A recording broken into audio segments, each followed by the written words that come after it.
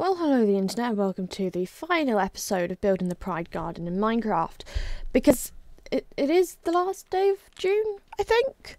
And um, also, we can't do stitching adventures this week because I don't have enough video footage for that because I haven't really filmed the process of making my skirt because it was a bunch of really long straight seams. The skirt's also on a mannequin because it hasn't been hemmed.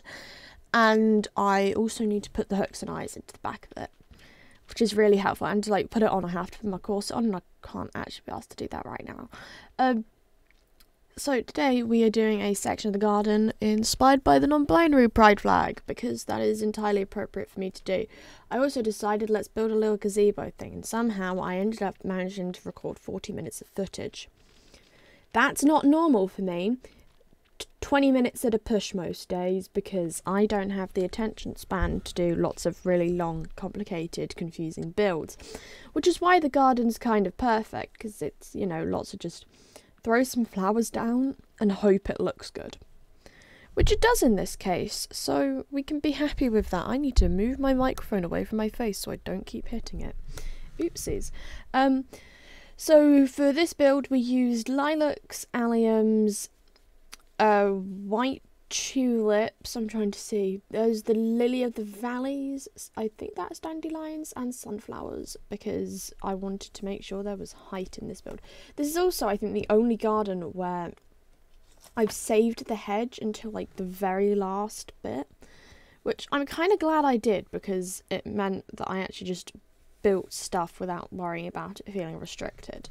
Um, honestly, I wish I'd done the gardens a bit differently and kind of just built without sectioning it all out, but oh well, it's a bit late to go back and change all of that now. It's the end of June. It's the end of June. It's been six months of the year already. Wow. We're halfway through the year. How is that possible? I don't get that. I don't get how that's happened, but it has. Um, for the hedge, we're using oak yeah, that's oak, and we're using jungle because I don't think I've used that so far. Um, and I'm trying to make sure each garden has a different enough look to it that it's like distinct, and like it's meant to be fairly subtle what pride flags they are because obviously it's literally just a bunch of flowers. I wish we had like some richer purple like flowers because that would have made this look so much better because they're all really pale. And like nothing against alliums and lilacs. I love the flowers. They just didn't really work in the colour palette, so I threw in some amethyst crystals as well just to try and add something else that was purple because I didn't feel like the purple was really standing out that much.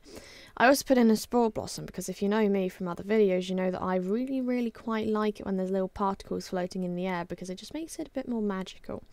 Which is why I really like cherry blossom trees. If you couldn't tell, I mildly overused them on this build because I literally started it days after the update came out.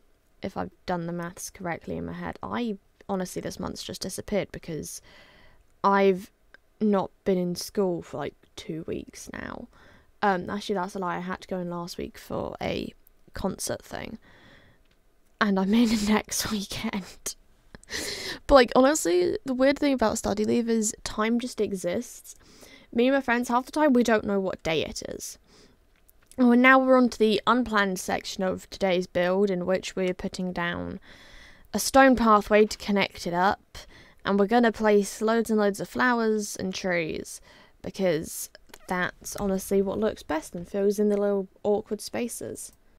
And obviously, we want to make sure that there's not loads of empty spaces because then it kind of just looks a bit silly. Um, trying to get this hedge to line the path to look right was a bit of a faff.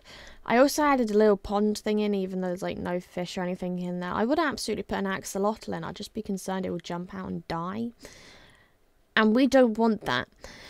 Um, we will be going back and starting to build some houses again very soon, no doubt, because honestly, that's probably what we're going to end up doing for the next couple of weeks, since that's relatively quick and easy for me to manage while I'm meant to be spending most of my days sewing. And also, soon I need to start fabric to make flowers. I forgot about that. I also need to place an order. Oh, I need to order some beads. Um, I love the bead shop in Nottingham. They have so many goddamn beads. We'll talk about that a bit because it's textiles related. They have so many beads. Like, oh, it's so helpful. They don't have my favorite seed bead mix in though, so I can't order any more of that in. But all the beads I used on, well, almost all the beads I used on my final piece of textiles that I sadly can't show you yet. Um, they all came from there. I also go to Golden Hinde, I think it is for Goldwork supplies. If you were ever wondering where I get that stuff from, goodbye the internet.